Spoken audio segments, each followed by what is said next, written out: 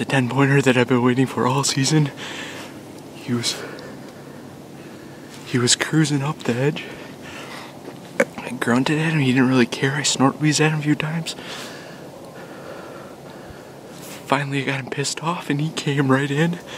I stopped him at 30 yards and I freaking smoked him. A little back, a little back, but he's dead 35 yards away from me. Yeah! Yes, yes, yes, yes! Oh, baby, I can't wait to make this phone call. This is gonna be a great phone call. Get to call the wife. Oh, yes, alright. Stay tuned, we're gonna go check them out here in a, a little bit. Alright, yes. definitely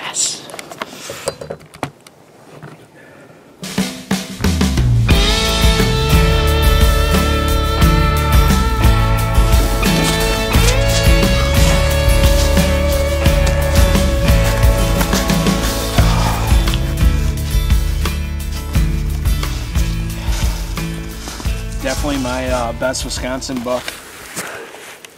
Out here with uh, where Jeff used to hunt. Put some time and effort this summer making some food plots with Nick and my brother and we uh, put a lot of work in. I saw this buck cruising this morning. and I grunted at him a few times and I uh, ended up snort wheezing at him and he turned and came in on a dime and he's not a mega giant, but definitely my uh, my best buck ever in Wisconsin. So I'm happy. I'm gonna put this guy on the wall. Nice solid eight pointer, and uh, yeah, I'm real happy. So thanks to everyone who helped me out. I got Jeff with me today, Jake with me. We're gonna clean this play up, put